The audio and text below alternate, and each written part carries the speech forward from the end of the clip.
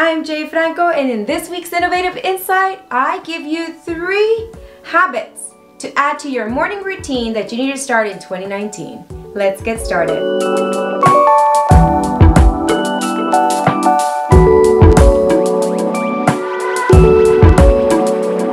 Hola mi gente, welcome back. And as I was saying, I'm going to give you three habits that you need to start including in your morning routine right now this year in 2019.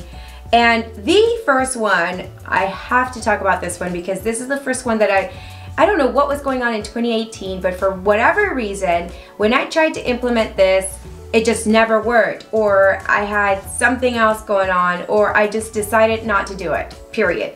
But in 2019, to be more effective, more productive in your day, you need to start putting away your phone and letting your phone sleep in. So over the last two days, I've been really trying to implement this. And one of the reasons why is because I found myself in 2018 waking up and the first thing I did was open up my phone, get on my phone, start getting on social media, start being reactive, and everything I did throughout the entire morning, it was like such a reactive process all morning long.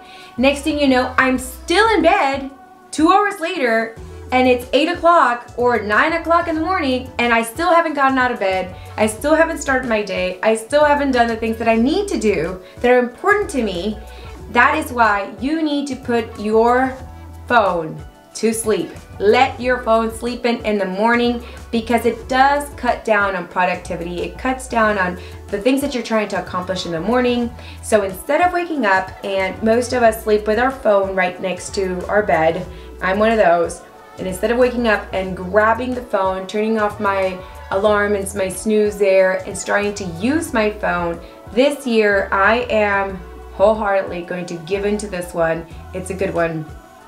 I bet you it, it's going to change my life because there's some days where I go down the social media rabbit hole and I'm like, wow, I spent all this time and now I'm just playing around on Instagram and watching everybody's pictures and just hanging out. So this year, the number one habit is to let your phone sleep in. The second habit that you need to add to your morning routine is to take time for personal development. Yes, personal development is so important every single day. And by personal important, I mean start off your day with something that you're doing for yourself. Put yourself ahead, put yourself and your health first in 2019. So here are some suggestions. You can definitely fast. It's something that I love to do, uh, especially because I carry a ketogenic diet. So I try to fast a couple of times a week and I find it that I'm a little more productive when I'm fasting for some reason. I, am not really quite sure what the science behind that is.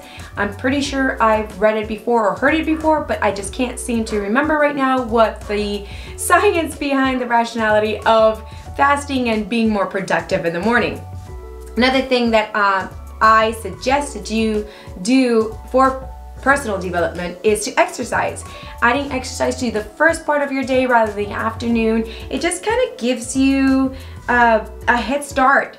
It's like you've already accomplished all these tasks in the morning and now you're ready to just take on your day. And you don't have to worry about long work days and try to fit in a workout at the end of your day when you're already tired, you're mentally drained, and you really don't feel like doing it other than just sitting on the couch, right?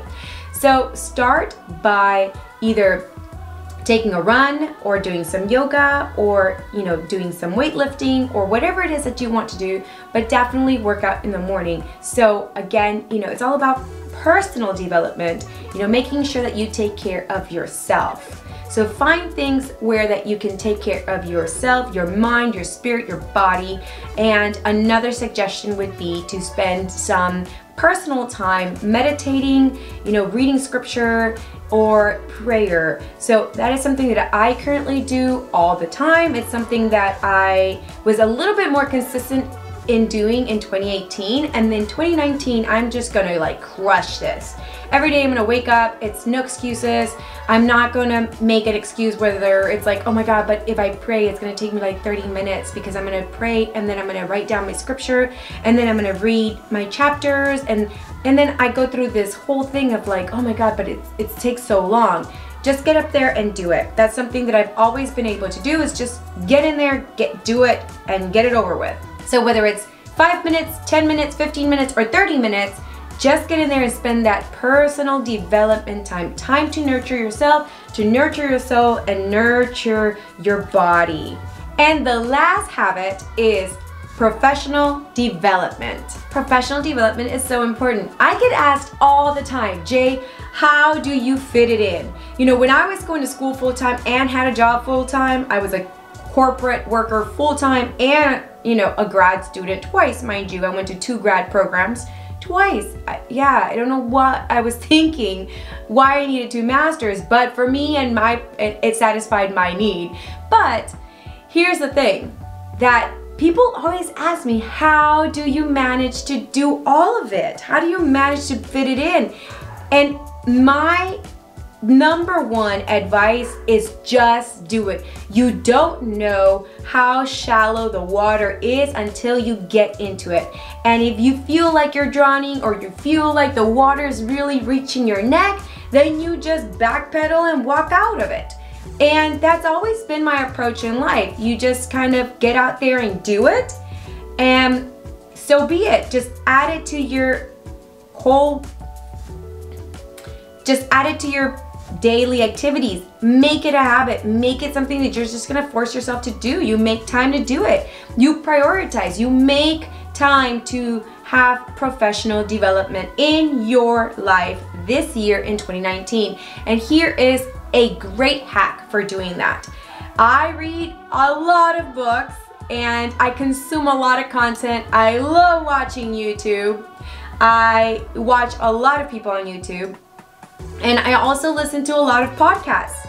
So my hack is just this morning I was you know organizing drawers and while I'm organizing drawers, I ran into all the new videos that I had posted for all the people that I subscribe to.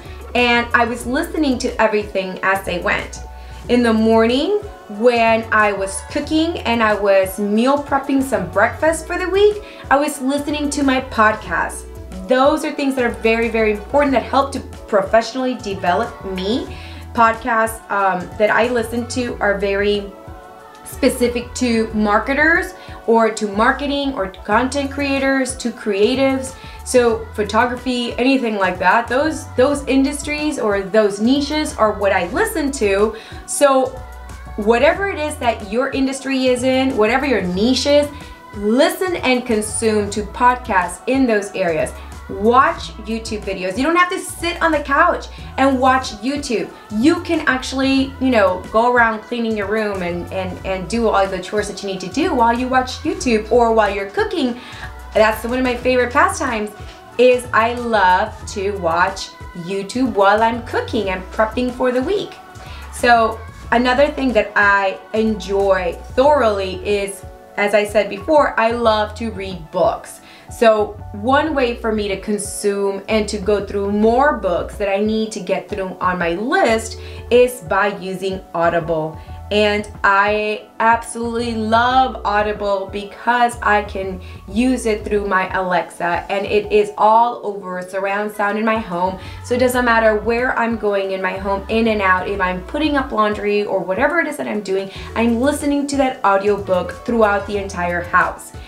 I set up all of my rooms in my house with Alexa this year. I am so excited about that. I feel like I'm so much more productive when Alexa's in every single room. When you're talking about habits in the new year, make sure to stick with them. It may seem weird in the beginning, it may seem awkward, but as you continue to do them, they will continue to get easier and easier. And as you pass that 21 day and 28 day threshold, they become part of your normal everyday habits. So add these three tips. I'd love to know what tip you're going to implement this year. If it's one that I've mentioned, or if it's something that you're to start to add to your morning routine, drop it down in the comments. I'd love to find out what hacks, what habits you're gonna be implementing to your morning routine because I'm always finding, trying to find ways to cut corners there and to make my life a lot more productive. So as always, make sure to like and subscribe. And I put out weekly videos on Thursdays. It's gonna start being sent out every Thursday at 3 p.m. Normally they were Thursday mornings really early, but now they're gonna be at Thursday So stay tuned